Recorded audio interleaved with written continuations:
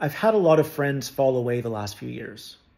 And I'm not someone who breaks up with my friends. I'm loyal to a fault. When I have a friend, I think we're going to be lifelong friends. Here's the thing though, when you're an honest person, you know, that's the one thing I've never stopped being is honest because that's how you keep your innocence alive, right? That's how you're able to to be truthful with people is by being honest. When you're honest with people, some people don't want to hear what you have to say. So for instance, let's say that you and I have a plan to meet Saturday night and I get my apartment ready and I make reservations and then you say to me at 6:30 when we're supposed to get together at 7, I'm not coming. Okay, I'm not going to get mad at you, but I might call you and say, "Hey, what's really going on? Talk to me."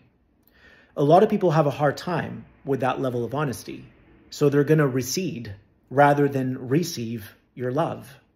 And that's what's happened to me a lot in my life is when I try to form a closer bond, people get scared and they run away.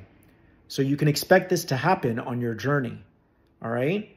A lot of people are going to let you go because in a way they don't want to look in the mirror yet. They're not being honest with themselves yet.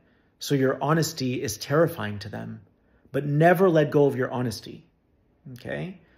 And by honesty, I don't mean pick a bone with people for no reason, but if they you know, drag your energy into something and then they hurt you in some way, then you should talk to them. You should ask them what's really going on. You know, like I'm the kind of friend, if you lie to me, I'm not going to cancel you. I'm going to say, hey, why did you lie? Were you just afraid of the truth, of telling me the truth? Were you afraid that I'd get mad at you? I want you to feel safe with me. Right? So it's, it's okay if you lied, but just know that you can feel safe with me. I understand you probably have trauma. It's okay. I'm not going to judge you for it. But a lot of people are scared of that level of honesty. And you need to be okay with people just falling by the wayside on your journey. It means that you're maturing and they're not. They're avoiding having that conversation. They're avoiding looking at you in the eyes. These are not true friends. These are superficial friendships.